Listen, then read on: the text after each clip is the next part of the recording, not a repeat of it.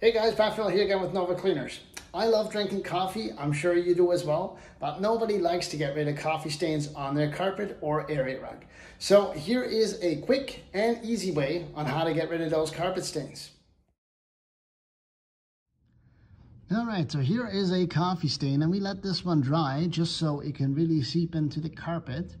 But I just want to show you guys once again how powerful the Dawn Power Wash is.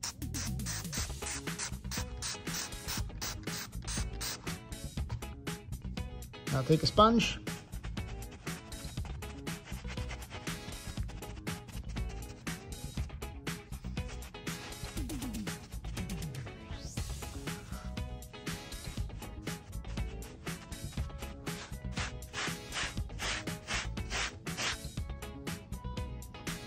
And you can see that stain is completely gone.